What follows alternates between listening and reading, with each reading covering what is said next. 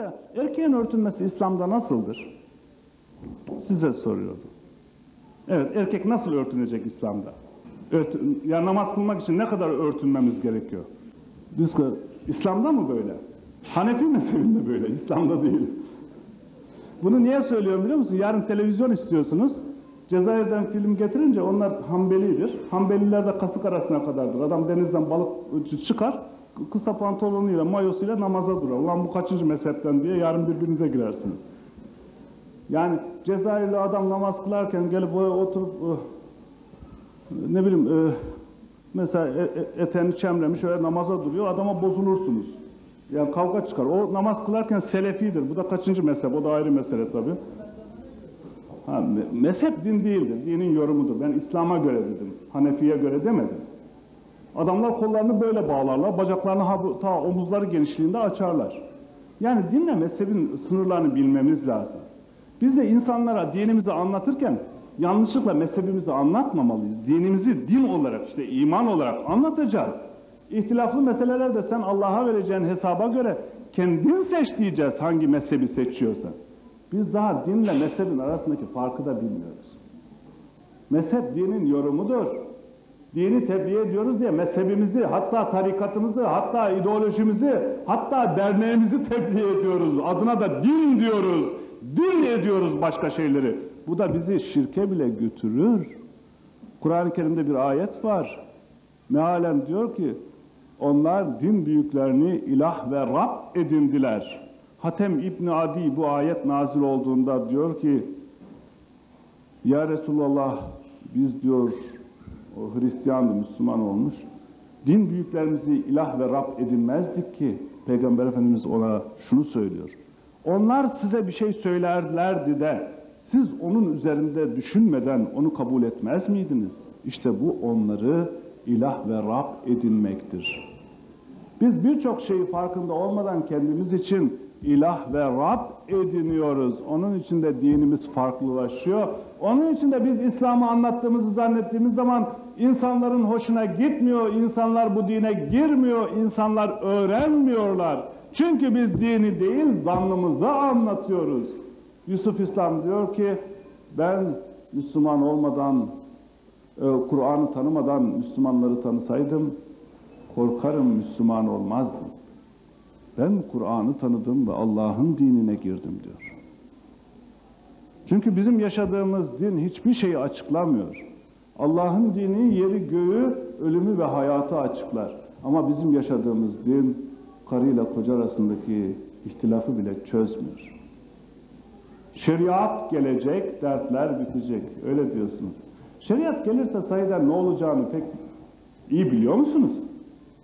Ben öyle sanıyorum ki şeriat gelip de kadınlar kocalarına kısas diye tokat attıkları zaman o zaman gözümüz fal taşı gibi açılacak. Çünkü erkek kadına vurursa ya şahit ya da iz bırakırsa kısasa girer. İmama giderler. Hem de cami imamına gider hanım der ki kocam bana vurdu. İmam çağırır. Der ki bak vurmuşum. Vurdun mu vurdum iz var. Ya da şahit var. Kadına der ki affet kocanı. Kadın ha, affetmem derse der ki diyet edesin. Bak sana bir tane böyle hacca götürsün seni. Güzel de bir elbise alsın. Sen gel şu kocanı affet. Şimdi şeriata bak. Şeriat gelecek. Kadın ha dedi olmaz bana vurdu. Ben istiyorum pat. İmam der ki cemaate şunu tutun bakalım. Kadına der ki hadi bakalım şimdi. Nasıl vurduysa aynen o kadar. Fazla vurursan Allah cezanı verir ha. Kadın geçecek şırak diye bir tane şak diye çakacak. Şeriat gelecek kadını erkeğin gözünde böyle yıldızlar, kafasında yıldızlar. Bu da var. Şeriat geldi. Kadınla ihtilafa düştünüz. Sen bir şey diyorsun, kadın bir şey söylüyor. Sana mı uyacak kadın?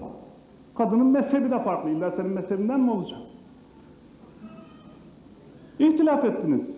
Mal meselesinde, mülk meselesinde, bir meselede. Nasıl çözeceksiniz? Erkeğin dediği mi olacak? Aç bak bakalım Kur'an'a. İki şey teklif eder. Ya vekil tayin edin ya hakem tayin edin. Kur'an karıyla koca kavga. Ha aranızda var mı kadınlar ve erkekler? karısıyla ya da kocasıyla kavga edip de Allah'ı hakem yapan bir kişi var mı aranızda? Bir kişi gösterin bana. Siz yaşamayacaksanız kim yaşayacak bu dini? Hiç kavga etmediniz mi siz karınızla? Hiç kocanızla kavga etmediniz mi? Allah'a ve Resul'e niye götürmediniz meselenizi? Ben geleceğim öyle götüreceksiniz öyle mi? Çok havanızı alırsınız. Siz götürürseniz şimdiden Allah'a Allah da size iktidarı verir. Çünkü siz kendi iktidar olmak ne demek? Rabbim biz kendi meselemizi çözdük. Şimdi insanlığın meselesini bize ver. Onu da çözelim. Sen bize sevap ver demektir. Evimi süpürdüm. Sokağı da süpürürüm Rabbim. Bana yetki ver de refah gelecek. Refahçılar süpürgeci olacaklar. Çöpçü olacaklar. Ya Bizim Bayrampaşa Belediye Başkanı gibi çöp arabasına binip çöp toplayacağız. Hoşuna giderse istersen başka meşrep seç kendine. Mahalle temiz olacaksa melekler gelip süpürmeyecekler ya siz süpüreceksiniz. Ya başka türü var mı bunun? Ha, niye peki Allah'a götürmüyorsunuz meselenizi? Eğer üzerinde güvendiği bu adama güveniyorsanız diyor ki ikiniz de meseleyi tek tek bu adama anlatın. O düşünsün, Kur'an'a baksın, hadise baksın, meseleyle ilgili kendisine gösterilen şahitleri dinlesin ve sonra hükmetsin. Ve onun verdiği hükme uyun diyor değil mi? Yanılıyor muyum? Aramızda hafız var mı? Kur'an'ın çözüm yolu bu. Ya kadın haklı çıkarsa? yani erkeklik gururu ne olacak o zaman? Ulan gördün mü herife? Millet sizi tiye alır ha sakallı. Kara haklı çıktı gördün mü?